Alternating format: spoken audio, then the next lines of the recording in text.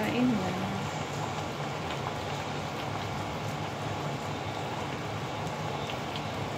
Sanda makamat na ulam na naman.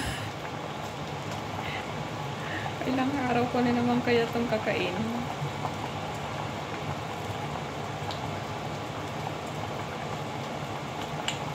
Mahirap kasi yung luto ng luto ng luto.